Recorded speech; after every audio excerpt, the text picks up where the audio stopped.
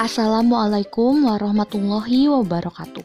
Apa kabar Ananda Soli dan Soliha? Semoga selalu diberikan kesehatan ya. Baiklah, pada hari ini kita memasuki tema 7 subtema 3, Indahnya Persatuan dan Kesatuan di Negeriku, Pembelajaran 3. Selamat belajar.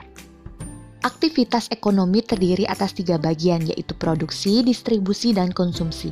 Aktivitas ekonomi penduduk Indonesia disesuaikan dengan kondisi wilayah Indonesia. Sebagai negara kepulauan, wilayah Indonesia meliputi wilayah daratan dan perairan, dan juga mengandung potensi alam yang melimpah. Namun, potensi alamnya belum mampu dimanfaatkan secara optimal bagi kemakmuran penduduk Indonesia. Sebagai generasi penerus bangsa, nah kamu hendaknya ikut berperan aktif dalam pemanfaatan potensi alam secara bijak. Aktivitas ekonomi di bidang pertanian wilayah Indonesia berada di antara lintang 6 derajat lintang utara sampai dengan 11 derajat lintang selatan. Posisi ini menyebabkan wilayah Indonesia beriklim tropis. Kondisi ini sangat mendukung aktivitas pertanian. Aktivitas pertanian juga didukung tingkat kesuburan tanah yang tinggi karena pengaruh banyaknya gunung api. Banyak penduduk Indonesia melakukan aktivitas pertanian dengan mencermati kondisi geografis Indonesia. Ada yang dibedakan menjadi dua, pertanian lahan basah dan pertanian lahan kering. Pertanian lahan basah membutuhkan banyak air, misalnya sawah irigasi dan sawah lebak. Pertanian lahan kering membutuhkan sedikit air, misalnya tegalan dan perkebunan. Selanjutnya, pada bidang peternakan di Indonesia banyak aktivitas peternakan dikelola masyarakat atau badan usaha. Aktivitas tersebut berupa peternakan unggas, peternakan hewan kecil, dan peternakan hewan besar. Beragam aktivitas ini menyediakan hasil ternak yang melimpah. Selanjutnya, hasil ternak dapat dikonsumsi oleh masyarakat. Jenis hewan yang dibudidayakan sebagai berikut. Peternakan unggas meliputi ayam, itik, burung, dan angsa. Peternakan hewan kecil meliputi kelinci, kambing, dan domba. Dan peternakan hewan besar meliputi sapi, kerbau, dan kuda. Hasil peternakan tersebut meliputi telur, daging, kulit, susu, dan bulu. Tidak hanya untuk dikonsumsi masyarakat, hasil ternak juga dapat diolah menjadi berbagai kerajinan. Kerajinan dari hasil peternakan misalnya tas, sepatu, sendal, jaket, sarung tangan, dan kok. Selanjutnya, pada bidang perikanan, sekitar 2 per 3 luas wilayah Indonesia berupa perairan. Fakta inilah yang menjadikan Indonesia dikenal dengan sebutan negara maritim. Luasnya, wilayah perairan menyimpan potensi kekayaan alam yang melimpah dan dimanfaatkan masyarakat untuk mengembangkan aktivitas perikanan. Aktivitas perikanan dilakukan secara tradisional. Kondisi ini menyebabkan produksi hasil perikanan di Indonesia belum optimal. Aktivitas perikanan dikelompokkan menjadi perikanan tangkap dan perikanan budidaya. Aktivitas perikanan tangkap dilakukan oleh nelayan dengan cara menangkap ikan di laut. Dahulu, nelayan mengandalkan angin untuk menggerakkan perahu. Nelayan memanfaatkan angin darat untuk pergi melaut dan angin laut untuk kembali ke daratan.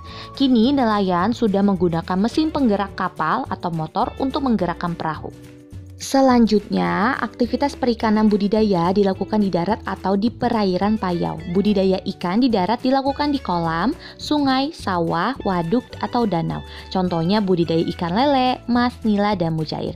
Budidaya ikan di perairan payau dilakukan di tambak di pesisir pantai. Selanjutnya, aktivitas bidang kehutanan. Dahulu, hamparan hutan hijau Indonesia pernah dijuluki karpet hijau. Julukan ini karena hutan Indonesia tampak hijau dilihat dari udara. Hijaunya hutan dipengaruhi oleh iklim tropis yang ada di Indonesia. Kawasan hutan Indonesia mengandung keragaman sumber daya hayati. Belum lagi potensi hasil hutannya terdiri atas hasil hutan kayu dan hasil hutan non-kayu. Potensi ini menjadikan Indonesia sebagai negara pengekspor kayu. Aktivitas kehutanan juga perlu memperhatikan kelestarian hutan. Mengapa lestarinya hutan berdampak terhadap kehidupan manusia dan makhluk hidup yang tinggal di hutan? Kelestarian hutan dapat dijaga dengan cara antara lain melakukan tebang pilih dan melakukan penghijauan lahan gundul. Hijaunya hutan Indonesia dapat menjadi paru-paru dunia. Tidak hanya memberikan manfaat ekonomis, hutan juga memiliki fungsi lain, yaitu sebagai penyimpan cadangan air tanah, penyimbang iklim, serta tempat habitat flora dan fauna. Bahkan kawasan hutan juga dimanfaatkan untuk objek wisata. Karena banyak manfaat hutan, kelestarian hutan hendaknya selalu dijaga. Nah, berikut ini adalah gambar contoh keragaman ekonomi yang ada di Indonesia, baik di bidang perikanan, peternakan, pertanian, dan kehutanan. Selanjutnya, arti penting memahami keragaman dalam masyarakat Indonesia. Keragaman masyarakat Indonesia hendaknya kita pahami bersama sebagai kelebihan bangsa Indonesia yang bisa memperkaya khasanah budaya nasional. Dan kita hendaknya bisa menjadikan keragaman yang ada sebagai alat untuk mempererat persatuan dan kesatuan negara kesatuan Republik Indonesia. Kurang memahami keragaman dalam masyarakat Indonesia dapat menimbulkan dampak negatif bagi NKRI. Nah, beberapa dampak negatifnya tidak adanya pemahaman atas keragaman dalam masyarakat Indonesia sebagai berikut. Pertama, terjadinya konflik baik antar ras, antar suku maupun antar agama, perpecahan atau disintegrasi bangsa, dan semangat nasionalisme berlebihan sehingga menganggap rendah bangsa lain. Keempat, mempersulit pemerintah dalam menetapkan kebijakan pembangunan. Kelima, menghambat usaha pembangunan dan pemerataan sarana dan prasarana. Keenam, kurangnya partisipasi masyarakat dalam pembangunan. Nah, dampak tersebut harus kita hindari. Segenap bangsa Indonesia harus menyadari bahwa keanekaragaman yang ada dalam masyarakat Indonesia telah menjadi identitas kebangsaan yang tumbuh dan berkembang jauh sebelum bangsa ini menjadi satu kesatuan yang utuh.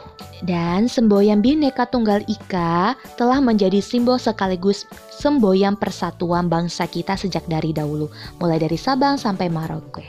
Oleh karena itu, kita hendaknya bisa saling menghargai atau bersikap toleran dalam keragaman. Nah, berikut ini adalah bentuk tindakannya mencerminkan sikap toleran dalam keragaman, misalnya menghargai perbedaan, hidup berdampingan secara damai, berinteraksi dengan baik tanpa ada sekat. Selain itu, sikap saling menghargai dan toleransi dapat kita tunjukkan dengan menghindari tindakan-tindakan yang bisa memecah belah persatuan dan kesatuan NKRI. Misalnya memaksakan kehendak kepada orang lain, acuh tak acuh dan tidak peduli, menonjolkan suku, agama, ras, golongan, dan budaya tertentu. Lalu, mementingkan suku bangsa sendiri dan cenderung memaksakan kehendak dan berani menempuh tindakan melanggar norma dan mencari keuntungan diri sendiri daripada kesejahteraan orang lain. Nah, berikut ini adalah beberapa informasi penting yang kita dapatkan dari teks arti penting memahami keragaman dalam masyarakat Indonesia. Bisa kalian baca ya pada tabel. Demikian pembelajaran pada hari ini. Ibu ucapkan terima kasih. Wassalamualaikum warahmatullahi wabarakatuh.